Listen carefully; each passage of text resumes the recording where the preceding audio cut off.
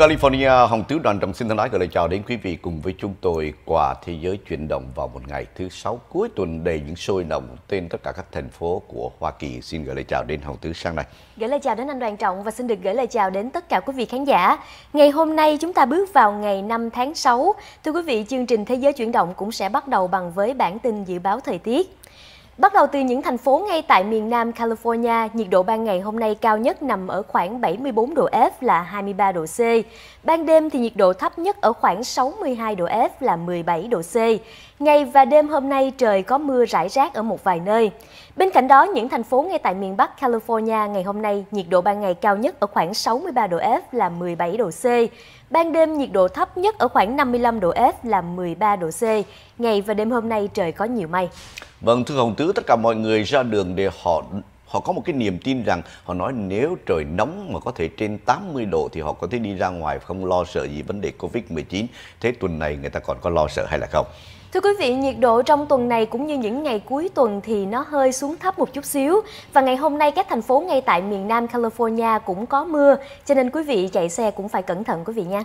Kính thưa quý vị, sáng nay Thế giới chuyển động của chúng tôi gửi đến quý vị một vài tin tức liên quan đến vấn đề công ăn, việc làm và tình hình kinh tế tại Hoa Kỳ cũng như toàn thể thế giới. Việc trước tiên, ngày hôm qua chúng tôi đã gửi đến quý vị con số những người nạp đơn thất nghiệp trong tuần qua có thể lên tới 1.9 triệu người và nâng tỷ số tất cả là 41 triệu 6 những người Việt người Hoa Kỳ hiện nay đang ở vào tình trạng thất nghiệp. Cứ trung bình 4 người đi làm thì hiện nay đã có một người bị lay off. Điều này tạo nên một cái sự khủng hoảng kinh tế mà có thể nói đang lo ngại cho tất cả những người đang hiện nay gắn liền với nền kinh tế của Hoa Kỳ. Nhưng sáng nay thì tất cả các hãng tin thế giới đều loan một cái tin mà có thể nói làm chúng ta có phần nào có thể hy vọng vào tương lai của nền kinh tế của Hoa Kỳ. Vì tất cả các hãng tin lớn đều loan tin về thất nghiệp đã giảm xuống còn có 13.3 và khiến các dự báo có thể có những thay đổi. Thưa quý vị, Bộ Lao động cho biết trong ngày hôm nay rằng các nhà tuyển dụng đã có thêm 2,5 triệu việc làm vào tháng trước. Các số liệu mới nhất cho thấy thị trường lao động đang tăng dần lên, với các nhà dự đoán ước tính rằng việc sa thải nhân viên sẽ giảm trong thời gian tới khi các tiểu bang của toàn Hoa Kỳ mở cửa trở lại. Tỷ lệ thất nghiệp giảm từ 14,7% trong tháng 4, cũng là mức cao nhất kể từ khi chính phủ bắt đầu giữ số liệu thống kê chính thức sau Thế chiến thứ hai, xuống còn có 13.3% trong tháng này. Thưa ông Tứ, tất cả những cái con số số chúng ta đã nói đến từ 17 chấm cho đến 14 chấm, mà bây giờ còn lại chỉ có 13.3 liệu dựa vào những cái con số đó, chúng ta có một cái niềm hy vọng sẽ phục hồi kinh tế trong một cái thời gian tới đây, hay là không? Thưa quý vị, chắc chắn là có và bên cạnh đó thì một vấn đề cũng rất nổi bật ngày hôm nay đó là liên quan đến những hãng hàng không. Tại Hoa Kỳ thì các hãng hàng không lớn nhất trên toàn quốc đang chuẩn bị hoạt động trở lại bình thường. Chẳng hạn như hãng American Airlines, Delta Airlines và United Airlines thì cả ba hãng lớn đều cho biết trong tuần này họ sẽ có nhiều chuyến bay vào tháng 7 tới các thành phố khác nhau của Hoa Kỳ. Giá cổ phiếu của các hãng này đều tăng cao trong tuần này. Khi chúng ta thấy mức độ gia tăng tất cả các chuyến bay đến tất cả các thành phố tại Hoa Kỳ trong tháng 7, điều đó có nghĩa rằng người ta quan tâm đến một trong những mùa du lịch mà có thể người ta không còn lo ngại bởi Covid-19. Đúng như Hồng Tứ đã loan tin thì tất cả các cổ phiếu của hãng hàng không American Airlines, Delta Airlines và United Airlines đã lên một cái con số rõ ràng và người ta dựa vào đó để có một cái niềm tin là có thể khôi phục kinh tế trong tương lai. Nhưng tất cả các nhà đầu tư thì có nhìn lạc quan như thế nào? Thưa quý vị, về phía những nhà đầu tư thì họ có cái nhìn lạc quan hơn và các báo cáo rằng thỏa thuận ngừng chiến tranh thương mại giữa Hoa Kỳ và Trung Quốc đang được diễn ra, mặc dù căng thẳng giữa Washington và Bắc Kinh ngày càng xấu đi. Bên cạnh đó thì về giá dầu thô ngày hôm nay như thế nào anh Đàn Trọng? Vâng, lấy nhìn giá dầu thô là một trong những cái gọi là cái bước đệm vững chắc cho chúng ta tin tưởng vào nền kinh tế trong tương lai thì hiện nay tất cả các quốc gia đều đồng ý là họ không có khai thác dầu thô trong cái thời gian tới đây vì vấn đề nếu tiếp tục khai thác dầu thô thì số dầu quá dư nhiều thừa thải và không sử dụng cho hết. Bởi thế đó cũng là một trong những cái bước tiến mà người ta hy vọng họ sẽ cân bằng và giữ được cái giá dầu thô. À, tất cả những cái sự kiện đó thì cho thấy rằng là nga và các nhà sản xuất sẽ đồng ý để gia hạn cắt giảm số lượng thêm một tháng nữa. Đương nhiên là một tháng tới đây sẽ không có vấn đề gia tăng sản xuất dầu thô. Nhưng mà vào thứ vào thứ sáu tới thì giá dầu thô Brent nó là bao nhiêu? Thưa quý vị, vào thứ Sáu tức là ngày hôm nay thì giá dầu thô Brent cũng là giá chuẩn mực của quốc tế đã tăng khoảng 3% lên 41,22 đô cho một thùng. Trong khi đó thì West Texas Middle là dầu thô chính của Hoa Kỳ đã tăng cũng 2%. Kính thưa quý vị, lại dĩ nhiên chúng ta thấy tất cả những cái vấn đề sản xuất dầu thô gần ngày trước đây từ ngày 12 tháng 4 đến bây giờ thì gồm có 9.7 triệu thùng cho mỗi ngày và khoảng 10% nguồn cung ứng toàn cầu trong thời gian bình thường. Đây là một cái dấu hiệu chúng có thể rằng chúng ta hy vọng kinh kinh tế sẽ phục hồi trong tương lai. Bây giờ thì quý vị cho phép chúng tôi trở lại với tất cả những diễn biến hàng ngày diễn ra tại Hoa Kỳ. Việc trước tiên chúng ta nói đến một trong những cái chuỗi gọi là cái tuần tang lễ của George Floyd và diễn đi từ ngày hôm qua tại thành phố Minneapolis. Thưa quý vị, hàng trăm người đã tham dự buổi lễ tưởng niệm ở ngay tại Minneapolis tổ chức cho ông George Floyd. Lễ tưởng niệm của George Floyd, 46 tuổi, diễn ra vào hôm 4 tháng 6, tức là ngày hôm qua, tại nhà nguyện của Đại học North Central ngay tại thành phố Minneapolis. Tuần tang lễ sẽ kéo dài trong vòng 6 ngày và diễn ra tại ba tiểu bang, bao gồm có Minnesota, North Carolina và Texas. Ông Floyd sẽ được chôn cất vào ngày 9 tháng 6 tới đây. Kính thưa quý vị, trong lúc đó thì tại Minneapolis, ông thị trưởng Jack Goffrey đã có mặt vùng nhiều quan chức tới dự tang lễ của George Floyd và ông quỳ một chân bên quan tài bật khóc nức nở, thật là một hình ảnh đầy xúc động. Thưa quý vị, bên cạnh đó chúng ta trở lại với những hình ảnh biểu tình nhằm đòi công lý lại cho ông George Floyd, bình đẳng cho người da màu và lên án hành vi bạo lực quá mức của cảnh sát tại 50 tiểu bang. Và những cuộc biểu tình trong thời gian gần đây thì có vẻ ôn hòa hơn và không còn có những hình ảnh bạo động, cướp bóc khắp trên các thành phố của Hoa Kỳ. Tại thủ đô của Washington thì người biểu tình cũng đã quỳ trước đài tưởng niệm Martin Luther King Jr. để tưởng nhớ và đòi công lý lại cho ông Floyd. Tại New York thì người biểu tình tập trung tại một cuộc họp báo ở quận Brooklyn và đã kêu gọi thông qua các dự luật tăng trách nhiệm đối với cảnh sát toàn tiểu bang New York sau một ngày biểu tình hòa bình và một nhóm người ở Manhattan tiếp tục diễn hành vào giờ giới nghiêm và cảnh sát đã bắt giữ 10 người. Trong lúc đó thì lệnh giới nghiêm được áp dụng như thế nào tại tiểu bang California? Thưa quý vị, lệnh giới nghiêm đã không còn được áp dụng ở thành phố Oakland, tiểu bang California và người biểu tình thì tiếp tục một đêm biểu tình rất ôn hòa. Họ cũng vẽ tranh tường trên các cửa hàng để vinh danh George Floyd và những người khác đã chết do bạo lực từ phía cảnh sát. Một đêm biểu tình ôn hòa khác cũng đã kết thúc trước giờ giới nghiêm ở thành phố Detroit, tiểu bang Michigan. Thống đốc Michigan và thị trưởng Detroit đều tham gia biểu tình này. Trong lúc đó thì quý vị ở tại quận Cam chúng ta đã theo dõi tất cả những cuộc biểu tình nói lên tiếng nói của những người Mỹ gốc Phi Châu cũng như tất cả những cộng đồng gốc thiểu số và trong đó một số người da trắng đã chan hòa trong đám biểu tình tất cả các thành phố Garden Grove cũng giống như thành phố Fountain Valley và ngày hôm nay và ngày mai tại thành phố Westminster. Chúng tôi sẽ tường thuật với quý vị tất cả những diễn biến liên quan đến vấn đề biểu tình tại Orange County. Trong lúc đó thì chúng ta nói đến một trong những vị thượng nghị sĩ của tiểu bang New York đã bị cảnh sát xịt hơi cay và không, và khống chế khi tham gia cuộc biểu tình ôn hòa sau cái chết của George Floyd. Thưa quý vị, thượng nghị sĩ người Mỹ gốc Phi có tên là Zeno Murray đã tham gia cuộc biểu tình ôn hòa ngay tại thành phố New York. Ông đã mặc một chiếc áo nổi bật có in dòng chữ là thượng nghị sĩ và đến báo với cảnh sát về sự hiện diện của ông trong cuộc biểu tình lần này. Tuy nhiên không lâu sau đó thì một nhóm cảnh sát đã đạp xe hướng về phía đoàn biểu tình và thượng nghị sĩ Murray cho biết trong nỗ lực bảo vệ người biểu tình trước cảnh sát thì ông đã bị nhân viên hành pháp xịt hơi cay vào mặt rồi còng tay dẫn đi. Một lúc sau thì cảnh sát mới nhận ra Murray là ai sau đó ông được thả và được chăm sóc y tế. Và ông cũng xuất hiện trên chương trình có tên gọi là Channel 9 Today. Mary cho biết ông tin rằng ông cũng như nhiều người biểu tình khác bị cảnh sát tấn công đơn giản là vì màu da. Trong lúc đó thì hai cảnh sát ở tại thành phố Buffalo, chắc quý vị biết thành phố Buffalo là một trong những thành phố lớn sau New York City và Albany cũng đã có những cái vấn đề đình chỉ một vài nhân viên cảnh sát sau khi một người cảnh sát đã đẩy một người đàn ông lớn tuổi và người đàn ông này ở độ tuổi 75. Thưa quý vị, với đoạn video cho thấy người đàn ông 75 tuổi đã ngã và chảy máu sau khi bị cảnh sát đẩy xuống đất, thị trưởng Buffalo là Byron Brown cho biết trong một tuyên bố vào tối thứ Năm, hai sĩ quan cảnh sát đã bị đình chỉ mà không được trả lương sau sự việc này và họ sẽ bị điều tra trong thời gian tới đây. Bây giờ thì chương trình sẽ tạm ngừng ít phút, hy vọng rằng quý vị vẫn sẽ tiếp tục theo dõi. Để tri ân khách hàng cũng như hỗ trợ cho đại dịch, chúng tôi có một chương trình mang tên Tri ân cùng vạn niềm vui quý vị có thể mua tất cả sản phẩm sâm của International Home Shopping và nhận lại full credit với số tiền đã trả. Để biết thêm chi tiết, xin gọi 714 868 6868. Quý vị có thể theo dõi chương trình của chúng tôi phát sóng trực tiếp trên các hệ thống sau: Nam Cali 57.11, 14.3, San Jose 16.11, Houston, Texas 27.2, app SET Group TV. Chương trình cũng có mặt trên tất cả các thiết bị Android, iOS, Roku, Amazon, smartphone, iPad và đặc biệt trên Samsung App. SET Hắc Sâm, món quà của Thượng Đế, giúp tăng cường đề kháng chống đại dịch toàn cầu.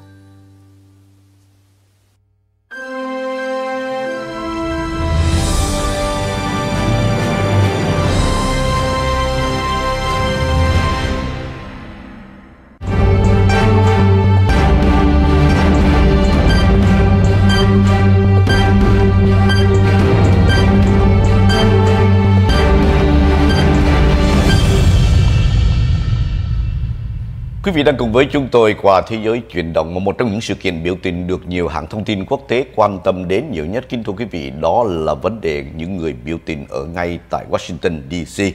Một trong những sự kiện mà chúng ta thấy một đám đông đang đứng ở phía trước có một đám đông đã sử dụng tay của họ lung lay cái bờ rào của White House và đây là một trong những sự kiện để cho tất cả những người chống biểu tình họ đã dùng hơi cay và lựu đạn khói.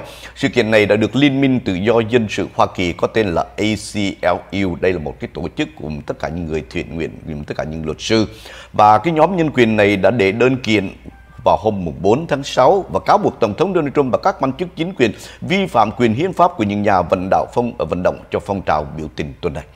Thưa quý vị, các lực lượng an ninh Hoa Kỳ vào hôm 1 tháng 6 thì họ đã sử dụng hơi cay, lựu đạn khói để giải tán những người biểu tình bên ngoài tòa Bạch Ốc trước khi Tổng thống Donald Trump cùng với lại nhóm quan chức đi bộ đến nhà thờ St. John gần đó.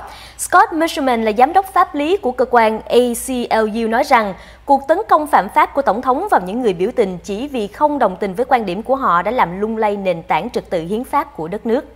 Trong lúc đó thì chúng ta nói đến ông thị trưởng của Washington DC. Chắc quý vị biết Washington DC là một trong những cái thành phố có tên là District Columbia và ông đã bày tỏ cái quan điểm của ông là muốn các đơn vị quân đội và vệ binh quốc gia ở tiểu bang khác rút hết khỏi thủ đô, nhưng quyền lực của bà đã bị hạn chế.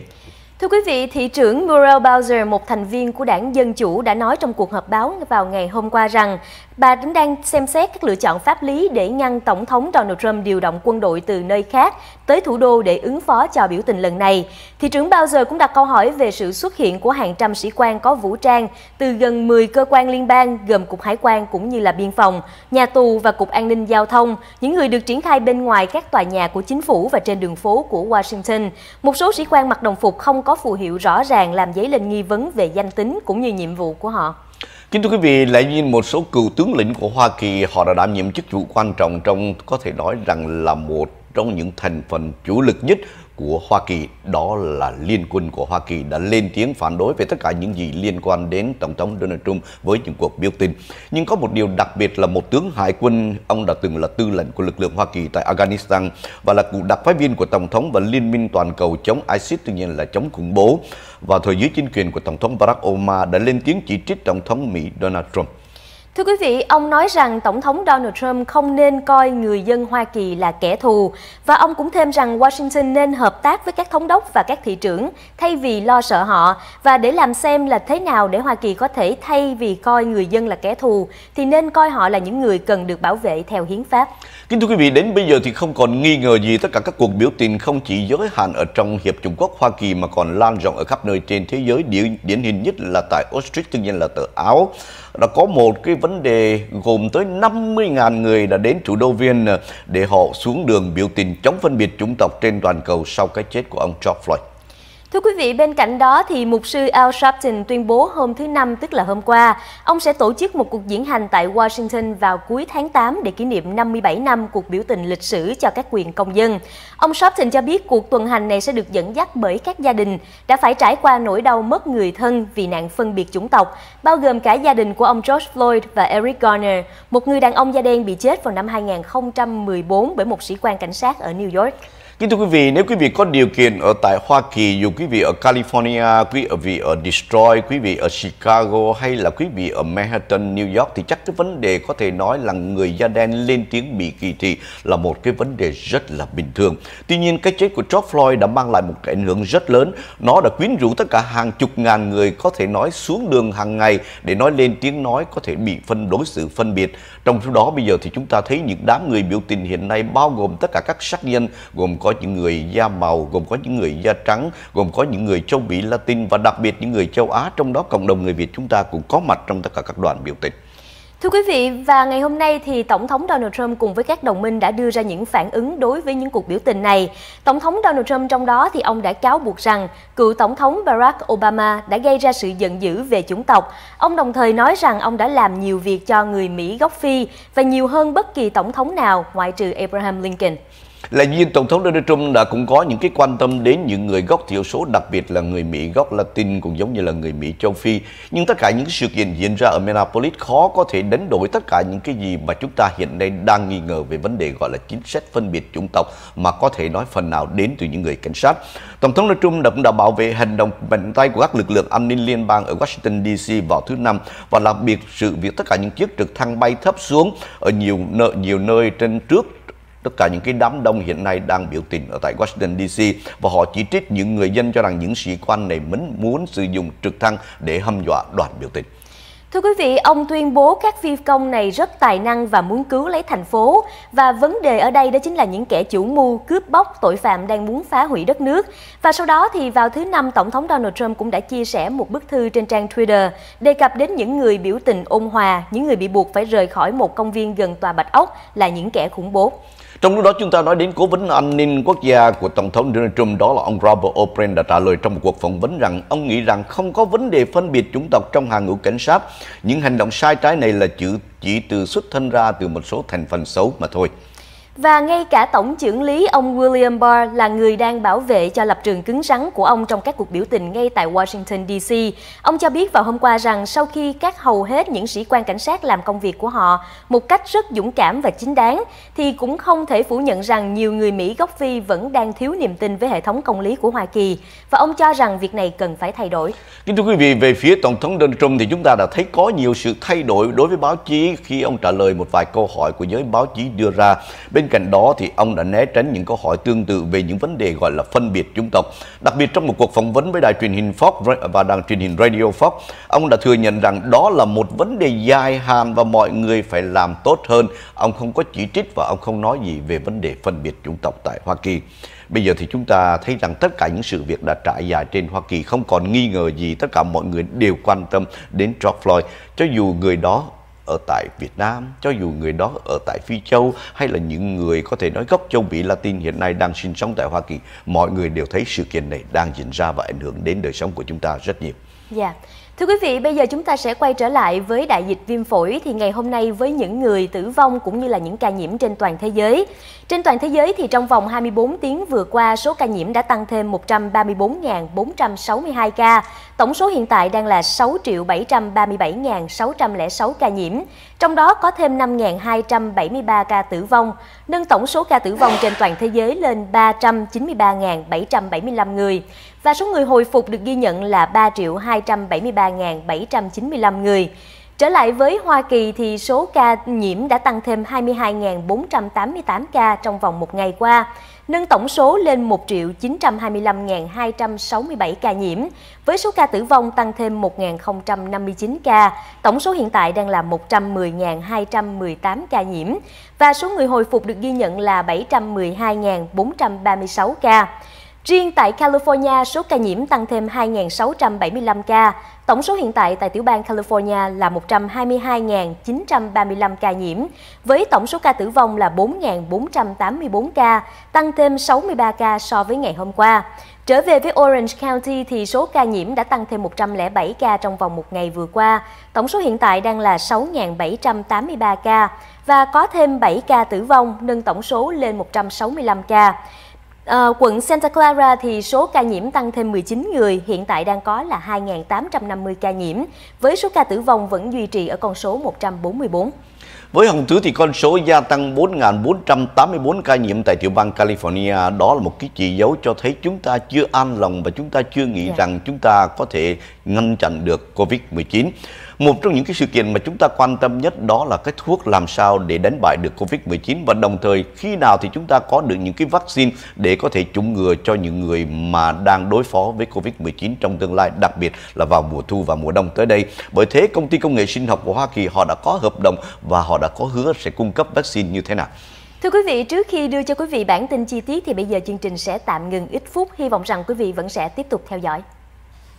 Để tri ân khách hàng cũng như hỗ trợ cho đại dịch, chúng tôi có một chương trình mang tên Tri ân cùng vạn niềm vui. Quý vị có thể mua tất cả sản phẩm sâm của International Home Shopping và nhận lại full credit với số tiền đã trả.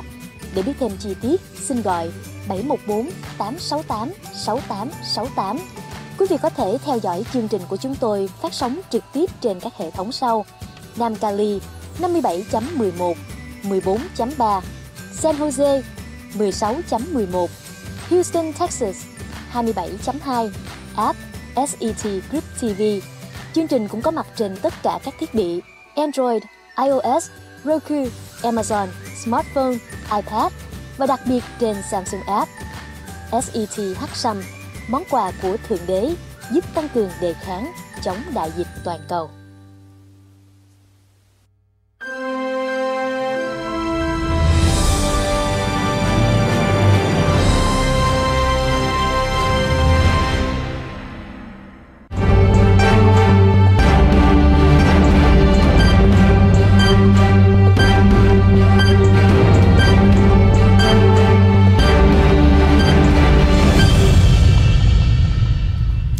Cảm ơn quý vị vẫn tiếp tục giữ màn ảnh và quay trở lại với Thế giới chuyển động ngày hôm nay. Và để trả lời câu hỏi của anh Đoàn Trọng về việc vaccine, thì một công ty công nghệ sinh học của Hoa Kỳ đã ký một hợp đồng cung cấp 10 triệu liều vaccine. Công ty với tên gọi là Novavax Inc. là một công ty công nghệ sinh học có trụ sở ngay tại Maryland, cho biết hôm thứ Năm là họ đã giành được một hợp đồng lớn của Bộ Quốc phòng Hoa Kỳ để làm ứng cử viên tạo ra vaccine. Bộ Quốc phòng sẽ cung cấp tới 60 triệu đô la tài trợ cho vaccine lần này, với tên thử nghiệm là NVX COV2373. Novavax sẽ cung cấp 10 triệu liều cho Bộ Quốc phòng vào năm 2020, có thể được sử dụng trong các thử nghiệm lâm sàng giai đoạn cuối hoặc ủy quyền sử dụng khẩn cấp nếu như Cục Quản lý Thực phẩm và Dược phẩm của Hoa Kỳ chấp thuận loại vaccine này. Kính thưa quý vị, mỗi thứ sáu hàng tuần thì quý vị có điều kiện gặp gỡ bác sĩ Michael Đào cũng như bác sĩ Nguyễn Khoa Ly qua chương trình y tế cùng với Thế giới chuyển động của chúng tôi. Nhưng hôm nay đối với trước tất cả những sự kiện có thể nói là chúng tôi cần quan tâm đến vấn đề biểu tình cũng như vấn đề Covid-19 và tất cả sự kiện kinh tế liên quan đến đời sống người dân Hoa Kỳ nên chúng tôi tạm dừng một tuần lễ này. Và bây giờ trở lại vấn đề vaccine thì cảm ơn Hồng Tứ đã đưa ra những cái câu trả lời mà chúng ta cần biết đến trong tương lai. Nhưng phía bên cạnh đó thì chúng ta nói đến một cái công Công ty AstraZeneca đã công bố hôm thứ Năm rằng họ sẽ tạo ra được là 300 triệu vaccine từ các nhà khoa học của Đại học Oxford vào cuối năm 2020. Hồi nãy thì Hồng Tứ nói là đầu năm này sẽ họ cung cấp gần tới 10 triệu vaccine để cho tất cả các nơi thử nghiệm lâm sàng. Thế đến cái công ty này, thế lại sao lại đưa đến cuối năm mới có những cái thử nghiệm này? Thưa quý vị, theo thông tin nhận được từ hãng dược phẩm này, công ty dược phẩm đến từ Anh họ cho biết rằng đã ký một hợp đồng trị giá là 750 triệu đô la của Pháp với liên minh CEPI. Công ty cũng đã thực hiện một thỏa thuận được cấp phép bởi với Viện Huyết Thanh Ấn Độ để tạo ra một tỷ liều vaccine có sẵn ngay tại Ấn Độ cũng như các nước đang phát triển. Quỹ từ thiện Bill and Melinda Gates cùng với Tổ chức Y tế Thế giới họ cũng đang bắt đầu tập trung hơn vào vaccine để bảo đảm rằng vaccine sẽ được phân phối công bằng trên toàn thế giới. Trong lúc đó thì chúng ta nói đến quỹ từ thiện Bill Clinton, Bill, uh, Bill và quỹ từ thiện Melinda Gates cùng với Tổ chức Y tế Thế giới đang bắt đầu tập trung vào các loại vaccine để bảo rằng vaccine sẽ được phân phối công bằng trên toàn thế giới. Liệu điều này chúng ta có thể tin tưởng được với Tổ chức thế, Y tế Thế giới mà hiện nay Hoa Kỳ đang lên án rất nhiều có điều đó có làm cho chúng ta tin tưởng được hay không? Một trong những sự kiện mà chúng ta muốn nói đến là những cái cuộc biểu tình gần đây, có thể nói sự va chạm đông người cũng giống như sự không có cẩn thận trong vấn đề đeo khẩu trang và có thể nói khoảng cách ly xã hội 6 feet đã không được tôn trọng. Những cái sự kiện đó có mang lại một cái sự lo ngại trong tương lai, dịch sẽ bùng phát trở lại hay không? Thưa quý vị, các quan chức cũng đang lo ngại các cuộc biểu tình sẽ mang lại đợt lây nhiễm mới. Trong hơn một tuần vừa qua, thì người dân của Hoa Kỳ đã tổ chức nhiều cuộc biểu tình trên toàn quốc. Tuy nhiên, đại dịch COVID-19 vẫn chưa kết thúc và cho đến trong tuần này, 4.430 người đã được báo cáo tử vong, trung bình là 886 người trong một ngày. Và các quan chức cũng lo ngại những con số này cũng sẽ tăng lên đáng kể với các cuộc biểu tình trên toàn quốc của George Floyd. Mỗi một ngày chúng tôi thường nghe Hồng Tứ đưa ra những cái con số có thể ngày 1, ngày 2, ngày 3 đều gia tăng lên. Thế Hồng Tứ có thể nghĩ đến cuối tháng 6 này và ở khoảng thời điểm ngày 27 tháng 6 này thì con số mà CDC đưa ra tử vong lên tới bao nhiêu? Thưa quý vị, theo một dự báo của cơ quan CDC, hiện họ ước tính sẽ có hơn 127.000 ca tử vong do coronavirus tại Hoa Kỳ vào ngày 27 tháng 6. Dự báo này dựa trên 20 dự báo riêng lẻ từ các tổ chức và những nhà nghiên cứu khác nhau. Trong tuần này thì nhóm dự báo toàn quốc cho thấy số lượng ca tử vong COVID-19 được báo cáo mỗi tuần sẽ tiếp tục giảm. Ước tính con số này sẽ từ khoảng 118.000 đến 143.000 ca tử vong vào ngày 27 tháng 6. Và không giống như một số mô hình riêng lẻ thì dự báo của cơ quan CDC chỉ cung cấp ước tính cho tháng tiếp theo mà thôi. Lại nhìn một cái tin buồn đến với tất cả những người mà chúng ta hay gọi là bị bệnh cao máu, cao áp huyết và có nguy tất cả những người này thì có nguy cơ tử vong gấp đôi nếu nhiễm Covid-19. Nhóm các nhà nghiên cứu quốc tế dẫn đầu là Fei Li và Linh Tao thuộc khoa tim mạch tại bệnh viện Xiing ở Tây An, Trung Quốc đã nghiên cứu hồ sơ của 2.866 bệnh nhân được điều trị tại Vũ Hán và nhóm nghiên cứu phát hiện ra rằng 4% bệnh nhân bị áp huyết cao đã chết so với 1.1% của những người không bị áp huyết cao. Và sau một số điều chỉnh cho sự khác biệt giữa các bệnh nhân, số phần trăm tử vong đã tăng gấp đôi, trong đó có tới 7.9% bệnh nhân ngừng dùng thuốc áp huyết là đã bị chết. Thưa quý vị, bên cạnh đó, thống đốc của tiểu bang New York là ông Andrew Cuomo đã kêu gọi người tham gia biểu tình nên đi xét nghiệm COVID-19. Thống đốc New York Andrew Cuomo đã nói trong một cuộc họp báo hàng ngày vào ngày 4 tháng 6, thì ông cho rằng người dân nên tới các điểm xét nghiệm gần nhất. Và ông Cuomo bày tỏ lo ngại rằng nếu như mà người biểu tình có thể lây virus cho các thành viên gia đình, thì việc này sẽ khó để chặn lại. Nhưng không riêng gì tại New York mà tại Minnesota cũng vậy và thống đốc tiểu bang Minnesota là Watt cũng đề nghị tất cả những người tham gia biểu tình đăng trên một cái trang tweet vào hôm 4 tháng 6 vừa qua đề rằng bất cứ ai tham gia tuần hành đều nên xét nghiệm. Nếu bạn nghĩ mình có nguy cơ nhiễm, hãy tiến hành xét nghiệm sau 5 ngày. Nếu kết quả là âm tính, hãy tiếp tục xét nghiệm lại sau 14 ngày. Bên cạnh đó, chúng ta đến với lại New South Wales thì giới chức của nước này đã đang tìm biện pháp để ngăn cuộc biểu tình sắp diễn ra do lo ngại Covid-19 bùng phát. Cảnh sát ở đây ban đầu cho phép tổ chức một cuộc biểu tình vâng, vốn sẽ diễn ra vào ngày hôm nay do được thông báo rằng sẽ có dưới 500 người tham gia. Tuy nhiên thì các nhà tổ chức giờ đây dự tính hàng ngàn người sẽ tập trung tại sự kiện này. Nỗ lực vào phút chót của chính quyền nhằm ngăn cuộc biểu tình được đưa ra sau khi Thủ tướng của Úc Australia là Scott Morrison đã đề nghị mọi người không tham gia các cuộc tụ tập tuần hành tương tự ở Melbourne và nhiều thành phố khác do lo ngại nguy cơ lây nhiễm COVID-19. Không riêng gì ở New South Wales, sáng nay trên đường đi làm chúng tôi cũng nhận được tin từ Tây Úc của Tây của Úc là họ cho biết rằng là tại một cái công viên cũng sẽ tổ chức một cuộc biểu tình và con số dự trù có thể lên tới hàng ngàn người. Hình như cái làn sóng những người Úc họ đồng tình với vấn đề gọi là không chấp nhận vấn đề phân biệt chủng tộc. Dạ. Chúng ta chờ xem tất cả những cái cuộc biểu tình diễn ra và sáng nay như chúng ta đã nói tại Australia, Australia tuy nhiên là ở tại Viên cũng được tổ chức biểu tình và bây giờ thì đến Australia chúng ta chờ xem tất cả các phản ứng của khắp nơi trên thế giới như thế nào. Nhưng bây giờ thì Pháp báo cáo tình trạng ổn định ở đại dịch Covid-19 đã đi đến như thế nào? Thưa quý vị, theo báo cáo của người đứng đầu Hội đồng Tư vấn Khoa học của chính phủ Pháp, Jean Francois thì đã nói với đài phát thanh France Inter hôm thứ Sáu rằng mặc dù virus vẫn tiếp tục lưu hành nhưng nó đang hoạt động với tốc độ chậm hơn. Ông nói rằng ông tin tưởng Pháp hiện đã có tất cả những công cụ cần thiết để phát hiện các trường hợp mới. Một trong những quốc gia hiện nay cũng đang đứng trước một cái cảnh gọi là đại nạn với Covid-19. Kính thưa quý vị, đó là Ba Tây mà chúng ta hay gọi là Brazil. Họ đã ghi nhận thêm 1.473 ca tử vong liên quan đến Covid-19 và trong 24 tiếng đồng hồ qua với tất cả những tổng số người chết hiện đại là lên tới con số 34.021 người. Và thưa quý vị, chúng ta đến với lại một phần tin ở ngay tại Hoa Kỳ. Và bắt đầu chúng ta sẽ nhắc đến về những cuộc bầu cử, những cuộc tranh cử do ngày 3 tháng 11 đến đây.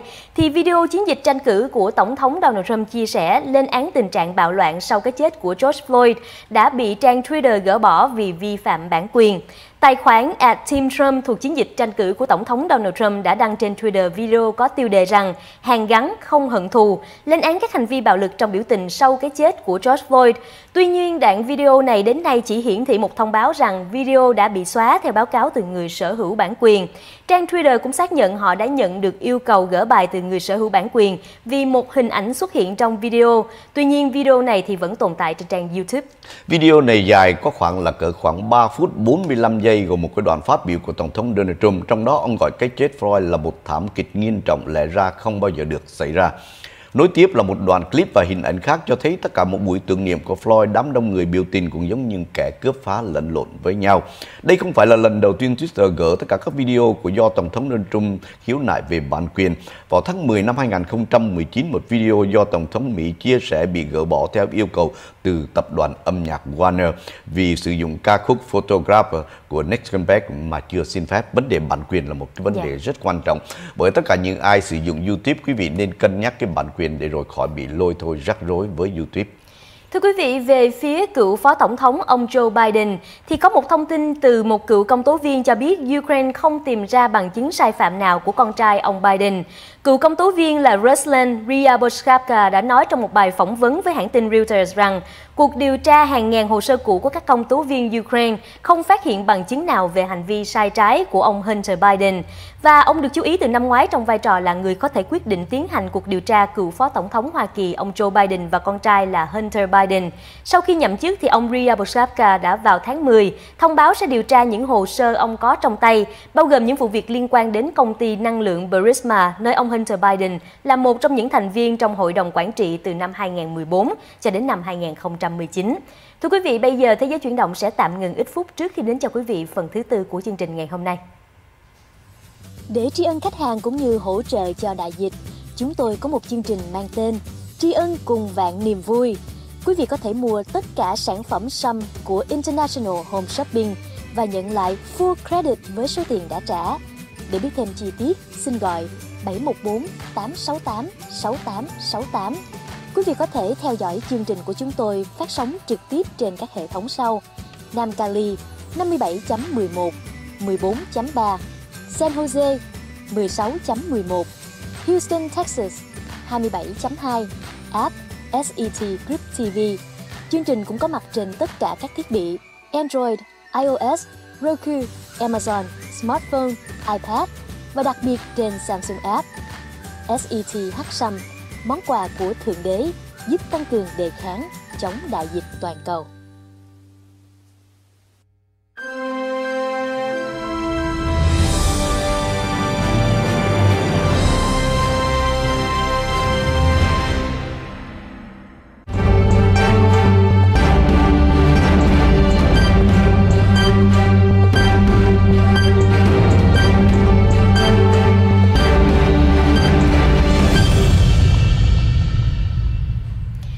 Quý vị vẫn tiếp tục giữ màn ảnh và quay trở lại với chương trình ngày hôm nay.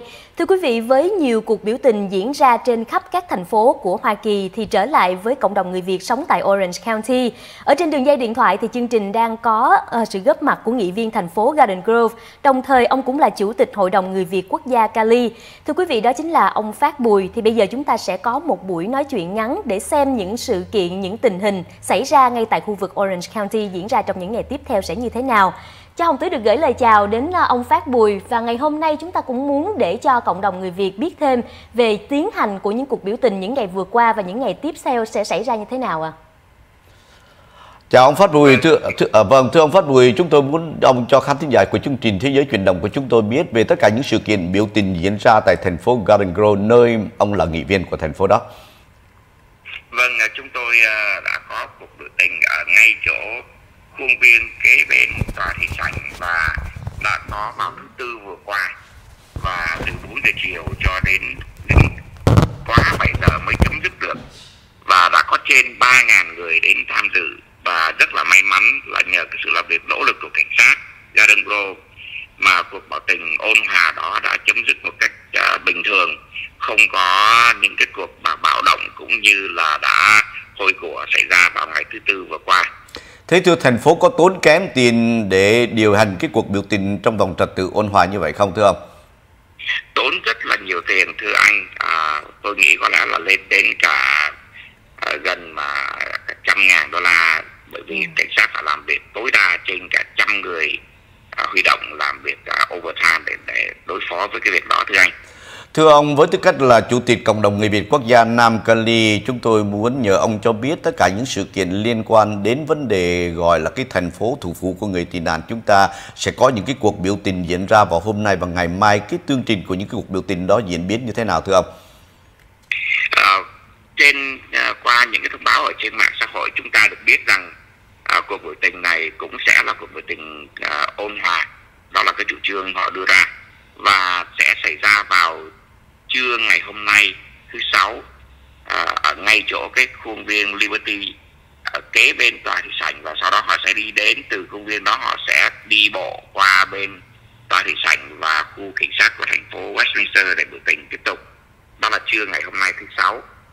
Vào ngày mai tức là ngày thứ bảy thì họ sẽ biểu tình lúc 4 giờ chiều ở ngay cái công viên kế bên đường Hara và đường Magnolia và sau đó thì họ sẽ đi bộ về hướng nào chúng ta không biết. Yeah. Dạ. À, chúng tôi hy vọng là họ sẽ không có à, họ sẽ được tiếp tục biểu tình ôn hòa như là ở bên thành phố Garden Grove vào hôm thứ tư vừa qua.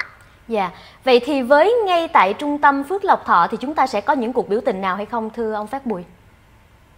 hiện giờ thì họ không có nói trong cái công văn họ không có nói là họ sẽ đi bộ về phía khu phước lộc thọ tuy nhiên theo như cái kinh nghiệm ở bên thành phố Garden Grove họ biểu tình ở tòa thị sảnh. Công viên kê gần tòa thị sảnh uh, Garden Grove nhưng mà họ đi bộ rất xa. Họ đi bộ dọc theo đường Euclid đến cả đường Chapman uh, và đường Brookhurst và từ đó đi xuống dưới đường Garden Grove Boulevard và đường uh, Brookhurst uh, thưa anh. Thành Thế... ra với cái quá trình họ đi bộ cả nhiều mai như vậy thì cái khả năng là họ đi bộ từ cái khu cái công viên ở ngay chỗ đường Haza và đường Magnolia họ có thể họ sẽ đi bộ về phía nam đến khu chợ ABC và quẹo trái đi bộ về phía về hướng Phước Lộc Thọ Thưa ông, với tư cách là Chủ tịch Cộng đồng Người Việt Quốc gia Nam Cali, ông cái quan điểm và lập trường của cái tổ chức của ông đối với những cái cuộc biểu tình sẽ diễn ra ngày hôm nay và ngày mai tại một cái nơi mà có đập đông rất nhiều người Việt chúng ta sinh sống. Ông nghĩ như thế nào về cuộc biểu tình này? Chúng tôi tôn trọng quyền à, à, biểu tình và quyền lên tiếng à, của tất cả mọi à, người, mọi thành phần. À, và vì vậy mà chúng tôi à, sẵn sàng à, đón nhận tất cả những cuộc biểu tình ôn hòa à, tuy nhiên chúng tôi cũng mong muốn rằng à, cuộc biểu tình nó diễn ra trong ôn hòa và đừng có kéo quá dài để mà trở thành cái gánh nặng về tài chính cho thành phố Westminster vốn dĩ đã đang bị thâm thủng ngân quỹ à, càng kéo dài thì cảnh sát của thành phố Westminster càng phải à, huy động lực lượng cảnh sát và như vậy nó sẽ trở thành một cái gánh nặng tài chính rất nhiều cho thành phố Washington. thứ hai là chúng tôi mong rằng họ không có họ cố gắng đừng có để những cái thành phần bất hảo trà trộn vào trong cuộc biểu tình của mình để mà à, đập phá cũng như là hôi của của các cơ sở thương mại của chúng ta trong vùng Thưa ông, lúc ban đầu thì Hồng Tứ đã đưa ra một cái câu hỏi rất là hay và chúng tôi hy vọng nghe tiếng nói của ông về cái sự kiện này. Thế tại sao lại có vấn đề xuất hiện của cộng đồng của ông trước thương xá Phước Lộc Thọ? Đó là một cái tổ chức tư nhân không liên quan gì đến cộng đồng người Việt của chúng ta. Thế tại sao lại có sự gắn bó đó với cái tổ chức của ông đối với những người biểu tình? Vào chiều tối ngày Chủ nhật chúng tôi à, nhận được điện thoại của tiệm vàng Mai Ly và sau đó chúng tôi à, làm việc với lại ban giám đốc của Phước Lộc Thọ thì họ cũng rất là quan ngại là cuộc uh, biểu tình có thể có cái nguy cơ sẽ gây ra những cái cuộc uh, uh, đập phá và hôi của các cơ sở thương mại uh, trong vùng như là đã xảy ra ở bên Santa Ana, ở bên Long Beach và những thành phố lớn khác. À, vì vậy mà họ nói rằng cộng đồng của chúng ta họ mong rằng cộng đồng của chúng ta có cái sự đoàn kết lên tiếng để mà à, đề cao và ngăn ngừa những cái thành phần xấu trong các cuộc biểu tình ờ, à, đừng có đập phá khu thương mại của chúng ta vì thế mà chúng tôi mang xe ship quân đội với cờ vàng ba sọc đỏ để mà hy vọng rằng chúng ta nói cho những người biểu tình biết rằng đừng có đập phá cái cơ sở các cơ sở thương mại của người Việt tị nạn cộng sản của chúng ta ở trong vùng này. Và đó lý do tại sao mà chúng ta thấy trên dọc theo đường phố Bông Sa cũng như trước cửa Phước Đô Thọ có rất nhiều cờ đã cắm sẵn ở đó à, chúng tôi cũng đã lên tiếng trên báo chí và, và rằng là chúng tôi cộng đồng người Việt quốc gia Nam Cali luôn luôn tôn trọng cái quyền biểu tình của tất cả mọi người. Nhưng mà chúng tôi hy vọng là quý vị đó đừng có à, đập phá à, những cái tài sản trong các khu của các thương mại trong vùng chúng ta không nhất thiết là khu cướp lộc thọ mà tất cả các cơ sở thương mại nào ở trong vùng của chúng ta thưa anh. Thưa ông, cái câu hỏi đến với giới báo chí của chúng tôi, thưa ông, tất cả những sự hiền diện của lá cờ vàng ba sọc đỏ cũng giống như tất cả các phương tiện hiện nay đang đậu ở trước xương sát Phước Lộc Thọ. Liệu đó là một cái hành động thiện nguyện của tổ chức của ông hay là được sự chi trả tiền cho một cái tổ chức tư nhân nào trả tiền cho quý vị làm công việc đó? À, chúng tôi làm hoàn toàn thiện nguyện và cũng có một số volunteer giúp chúng tôi đi ra à, cắm những cái lá cờ vàng à, dọc chung quanh kiểu đường bốc xa ngoài ra tất cả cơ sở thương mại nào muốn có lá cờ vàng ba sọc đỏ cắm trước uh, cửa tiệm ở khu thương mại của mình thì chúng tôi cũng sẵn sàng cho mượn. Và nếu cần thì chúng tôi cũng sẵn sàng uh, thiện nguyện để mà uh, cắm những lá cờ đó. Chỉ có bốn chiếc xe ship là chúng tôi phải uh, chi trả cho những cái người chủ chiếc xe bớt xóm một khoản tiền tượng trưng nhỏ nhỏ để mà họ đậu những chiếc xe ship vào đó trong vòng 2 tuần thôi anh. Vâng, thế thưa ông, trong trường hợp nếu xấu có bạo động xảy ra với tư cách là Chủ tịch Cộng đồng Người Việt Quốc gia Nam Cali, ông sẽ có hành động cụ thể như thế nào? Chúng tôi kêu gọi tất cả quý đồng hương, thứ nhất là phải giữ an toàn cho cá nhân của mình, điều đó điều tối quan trọng.